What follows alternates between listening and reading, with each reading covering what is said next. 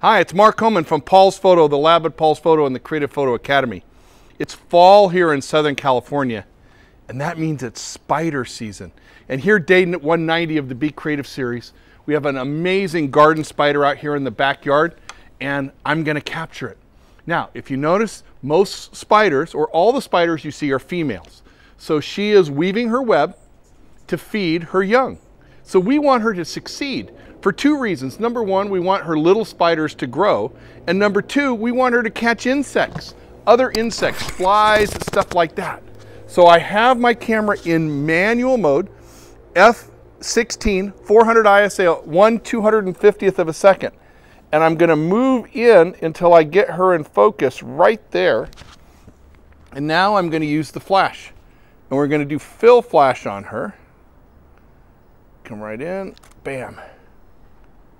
We got that little smile on her face, the monkey smile. That's how we know she's a garden spider. She's so beautiful. Look at that. Awesome. So let's talk about the technique. So I'm in manual mode, manual focus, because the camera was gonna have a hard time focusing on her. So I'm in manual focus, moving in and out until she comes into focus.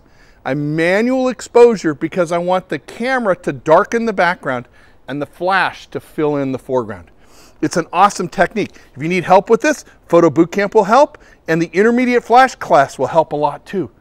But I love this. Look at, she's angry at me. I'm so sorry. She doesn't like me yelling at her, but she's so beautiful. Get out and take some pictures. Try some things. I know a lot of you are squeamish. Did you know that you're never more than six feet away from a spider wherever you are on the, on the planet?